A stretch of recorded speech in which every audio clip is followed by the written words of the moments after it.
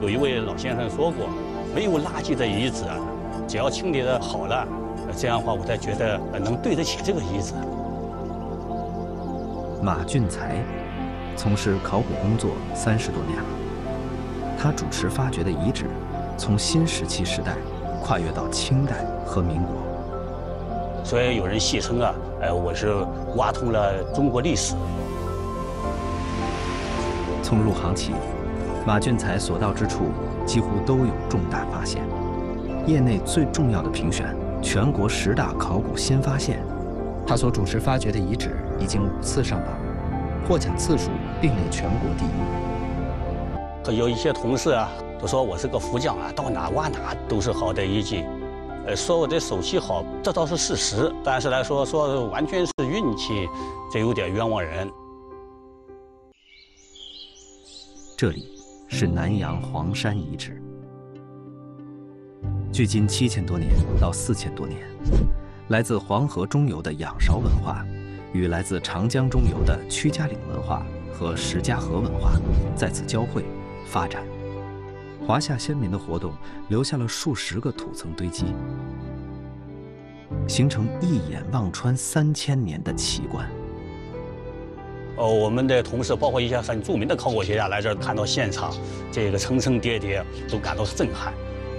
不仅层层叠压，而且每一层都极薄，大都只有十几厘米厚，层与层之间还相互打破，这就意味着发掘时稍有不慎，就会混淆遗漏重要历史信息，甚至对遗址造成无法挽回的破坏。黄山遗址的话，也是我从业这三十几年碰到的最复杂、最富于想象力的这个遗址。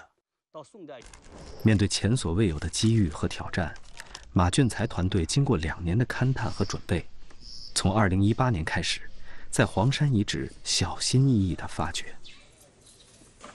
以前我们的老技工啊，就是一个人可以挖个呃五个方、十个方都没问题的，在这个地方挖半个方，头发都快抽白了。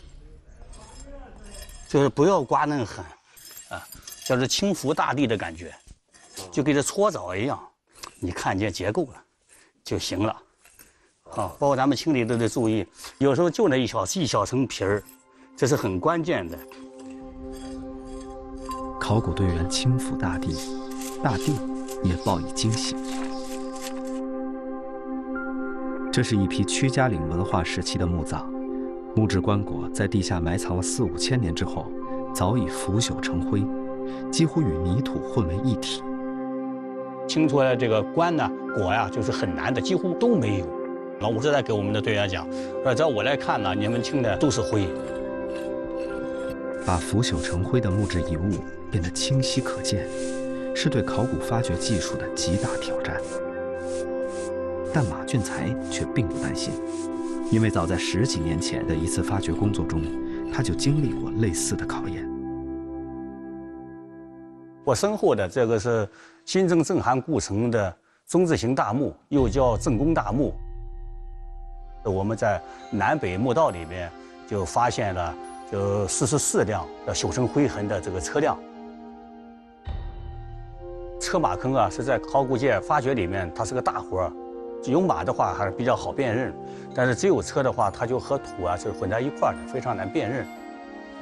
区分马车和泥土的唯一线索是木质车身留下的灰化痕迹，但因为年代久远，车身痕迹和泥土的颜色相差无几。通过细致的观察和推理，马俊才在泥土中找到了类似植物纤维的结构。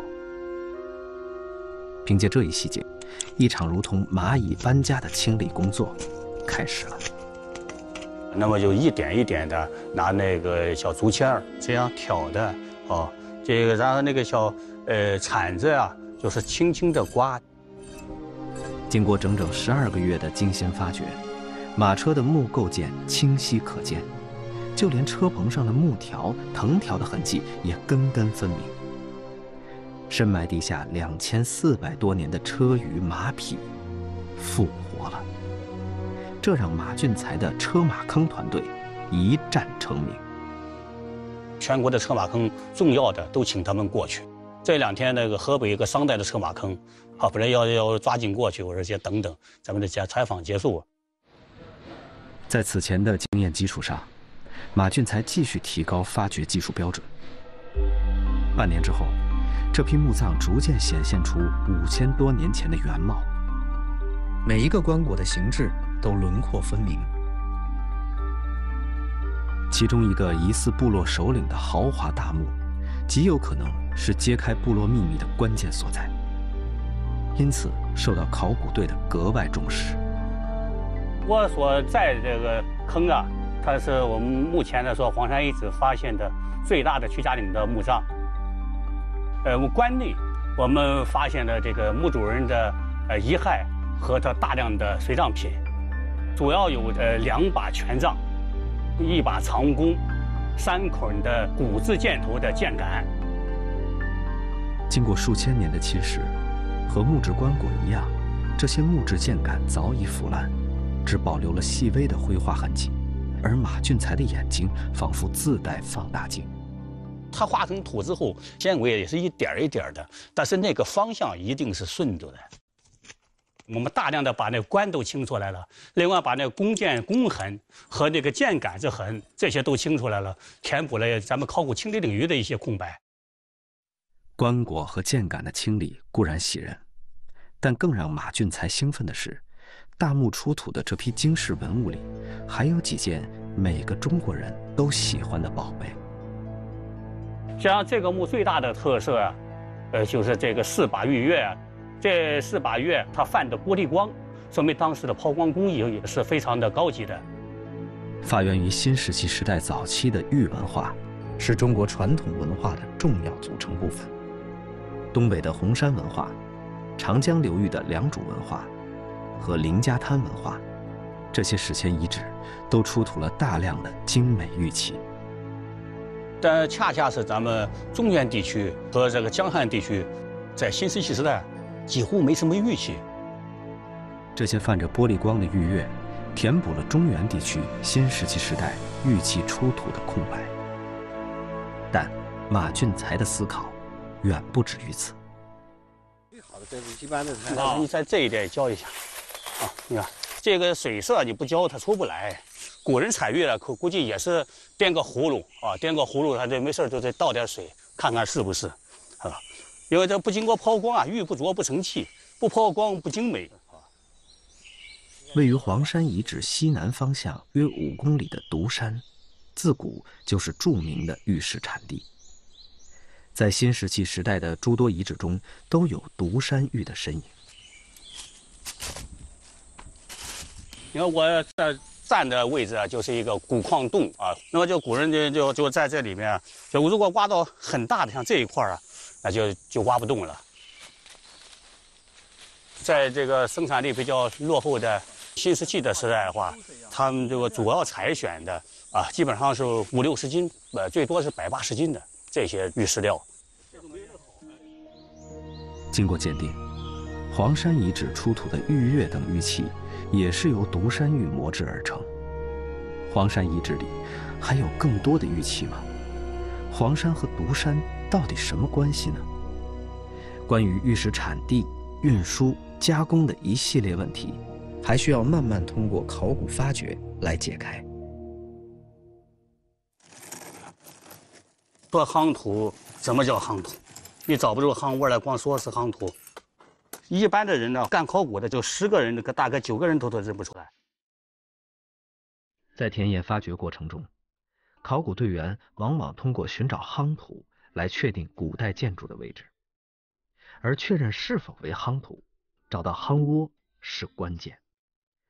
但即便是专业的考古队员，要想精准的土中找土，也并不轻松。这个啥字应该？像我这个话，你看，我这个是，哦，我画出来的你就看着很像，因为这是打了半截的夯窝，细节决定成败。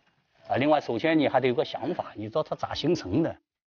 又经过一年多的悉心发掘，在屈家岭文化时期的墓葬之下，一片平整的夯土地面上，出现了加工玉器的磨石工具。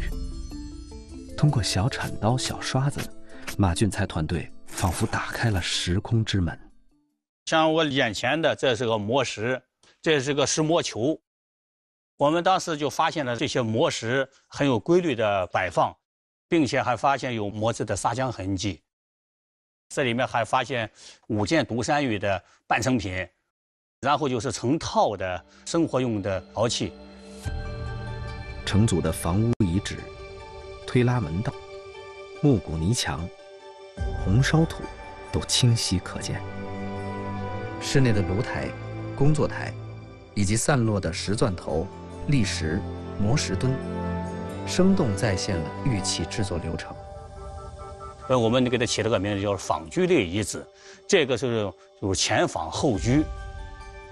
这些完整的仿居式建筑，两万多件制玉工具，一百多件玉器，完好保留了仰韶文化时期的建筑技术和日常生活细节，堪称一处庞贝式的史前玉器制作工坊遗存。玉器制作工坊的发现，验证了马俊才之前的一系列判断。我所在的就是黄山遗址的小山的顶台的上面。那么就在呃它的西边嘛是个岗地，西边的岗地上面还是遗址，在在这个遗址的中间呢，呃修了一条人工的这个运河，它是直接就是奔到独山脚下了。在东边。就是咱们南阳的母亲河白河，白河内盛产的这些石英砂和这各种各样的砂岩子的这个模具。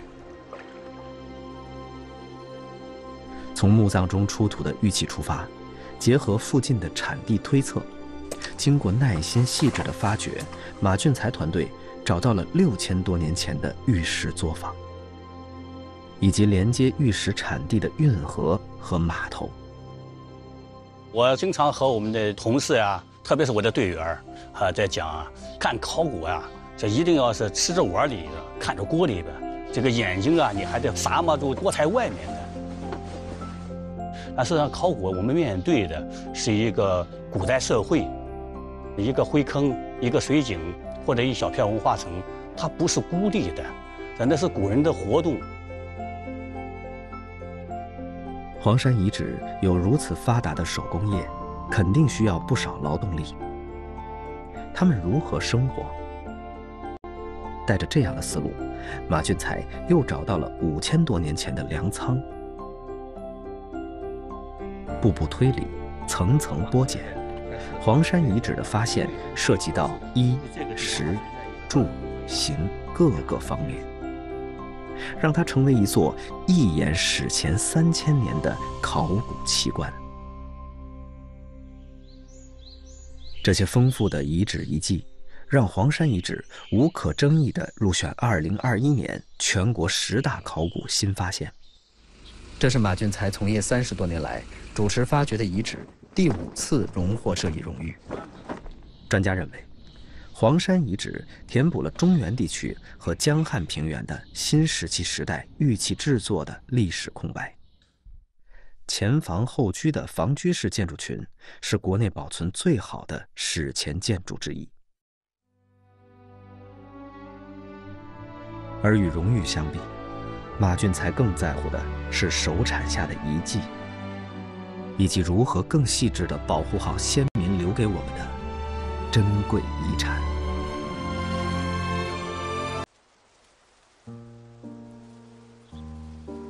时值六月，芒种将至。和日出而作的当地农民一样，陶寺挖土小队也要下地干活了。哎呀，王奎来了啊！哟，邓文也来了啊！大家都来了啊！各就各位，各就各位。哎不是，多少石头劲掏的。凡是挖土的坑都有名堂，因为它是人为凿洞的嘛。这是谁的？我的天！啊啊，他的。嗯。啊，这家伙还投降状啊！我估计是被捆到这儿了。哎呀，你看这牙多年轻，比我都年轻，这哥们儿。土坑里的这位，他是谁？高队长是，这可以不聊吗？不行。学术渊博，渊博，酒量也好，成果也比较突出，觉得蛮幼稚的。好，没有架子。全才吧，这是个全才。然后他就像老父亲一样。最主要的一点啥，他的心眼比较善。他就是高江涛，山西陶寺遗址考古队领队。茂奎说的是对的，听队长的话。然后我就像这个家里的大哥哥一样啊，当然把我说的年轻了啊，他们有可能叫我老头啊。也熟了啊，很快我们就要收麦子。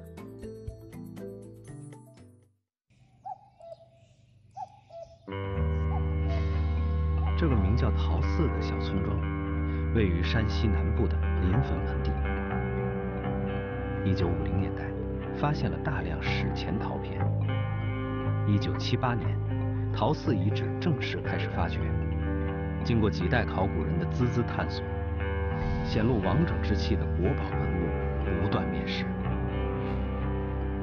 一座沉睡了四千多年、面积堪比四个故宫的大城。也逐渐浮现出了它的基本轮廓。古史传说中，晋南属于华夏先祖尧帝的活动区，因而，在中华文明探源工程中，这个四千多年前的史前都邑被视作求证尧舜时代历史重要遗址。我我我出来了啊！哇，漂亮！我我得好好录，记记上记上记上啊。二零零四年，陶寺考古队发掘出了观象台基址。这是迄今发现的世界上最早的观象台。博士研究生高江涛当时正在陶寺实习，他亲手发掘出了观象台的观测点。我印象很深，当我刚拿在手上一刮呢，花土和夯土之间不是有线吗？啊，我当时就说呀。这肯定是重要现象。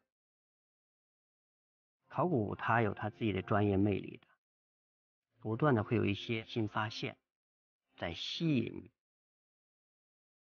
十年之后，高江涛接任陶寺考古队领队，他们先是确定了一个十三万平方米的工程，最近几年发现了一座面积近八千平方米的宫殿基址。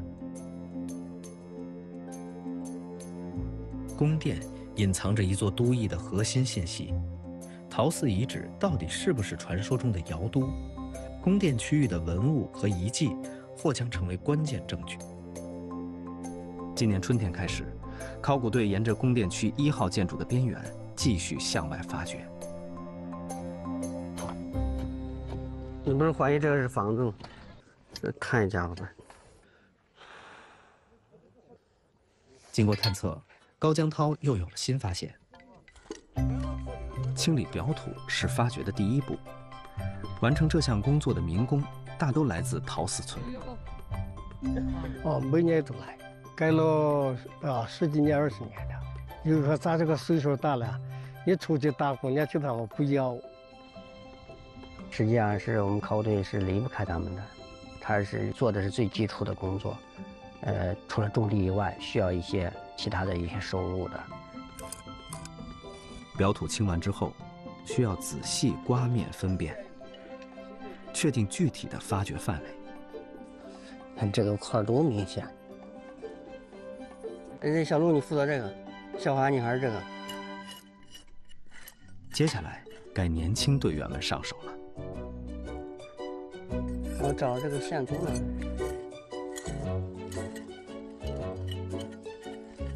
每下一层要找它的边界，也就需要很细心。年轻队员一旦遇见问题，拥有四十多年田野发掘经验的冯老师就会出现。别要那么多钱地儿啊！嗯，好。那内行人一看你这就把持不着。用传帮带的传统，没有保留的去教他们，跟我们干了都很多年了啊。所以我有时候都称老革命了。冯老师他能力很强，很多方面是仰仗他的。那现在是是三个三个粒，四粒啊，还有这替替看看这边还有其他的细节的小东西没有？嗯，都到时候画图的时候都在边上写上。我能到晚年遇到江涛，这是我的福气。他和我就像兄弟一样，该操心的我就不通过他，该干上我就干。老革命和年轻人齐心协力，陆续出土了一批重要的史前生活用品，还真不少呢，啊，三件立了吧，对吧？一个小立，俩大立，立就是以前煮饭的锅，就是这个立。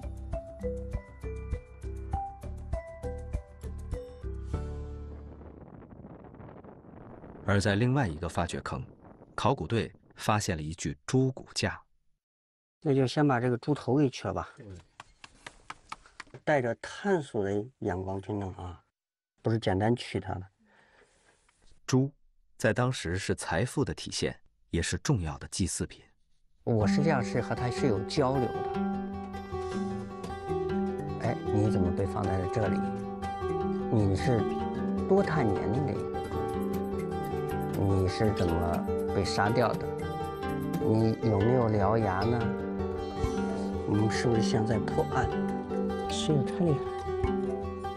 看这牙齿尖不尖？只有你和他有交流的时候，你才会有细微的发现。咋画呢？真是。对于新队员来说，幽默和善的高老师。有时候也很严厉。为什么扣？因为，因为老师说把这个当做一个考核，说每个人都要画一个陶器，本来心理压力就挺大，还要考核。今天的考古工作中，数字化采集已被普遍应用，但高江涛依然要求队员进行手绘。二十二十一、二十二吧。二十二、二十一。二十二吧，对，基本上它都是一个同样的。有很多工地基本上就是已经脱离了手绘，但是我呢还坚持两种，既有手绘的材料，又有这个电脑的材料。因为你现在技术啪啪啪一照就行了，脑子不需要思考的。但是你在传统的这个绘图的时候，它需要一个线条、一个数据、一个数据的去做，它会在这个细节上会思考。这个耳朵这块儿，和宽度，你说画宽了。你这样子看后，它其实这个宽度很窄，嗯，这块宽一点，对，嗯，接口处宽一点，嗯。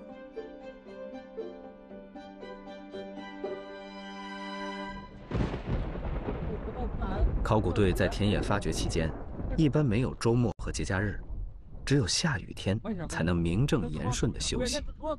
下雨天我们最喜欢下雨。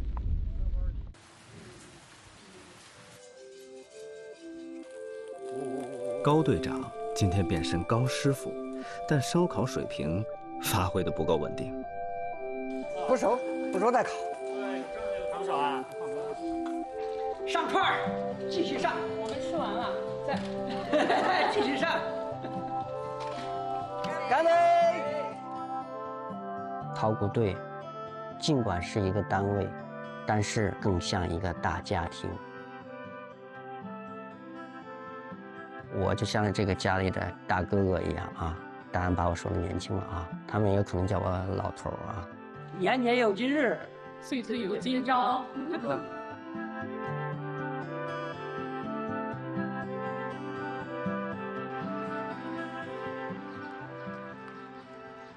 雨过天晴，发掘继续。高江涛收到了一条让他兴奋的消息。我在下面，我一会儿过去。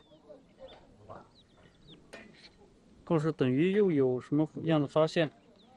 就是上边嘛，上面那个祭祀坑，那不是把那个猪骨给去掉了吗？结果猪骨的下面有一个小孩的骨头，小孩的骨头是下面是那个大人的骨头，这架势复杂了。这个老硬了，这夯土。他可能是一家三口。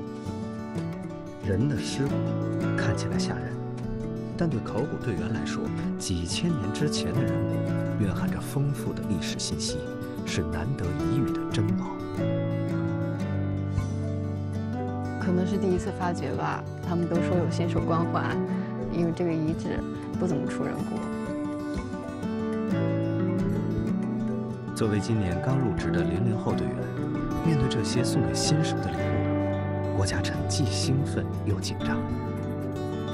鼹鼠捏脚，我害怕做过了，然后就特别着急。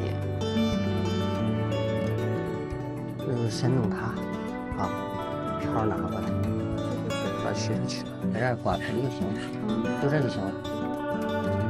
因为他知道我可能没有接触过这个，他就像老父亲一样，就蹲在我首先要有一个精细化的发掘，每天都在做一点点工作，把这个全部展现出来。这是一场持久的考验，不停考验着考古人的韧劲儿、耐心和智慧。祭祀坑内的复杂遗迹现象越来越清晰。这个祭祀坑至少有两次不同时期的一个祭祀。上层的猪骨架以及陶器提取之后，下层叠压的三具人骨也逐渐显露出来。人骨还有明显的绑缚痕迹，高江涛推测，宫殿区在奠基时发生过重要的祭祀活动。那边还有个小的，你看加上一二三，就是这，尤其这里边的东西。而在另外一个发掘坑里，一个半地穴式的建筑也露出原来的面貌。日常用具摆放有序，生活场景栩栩如生。我工作在这儿挖掘四十年了吧，还没遇到过这么这么好的一座房。这座房子的主人，应该是遇到一个非常突发的一个事件，他们离开的很仓促。四千多年前，华夏先祖的生活状态，正一铲一铲的在考古人的手里复活。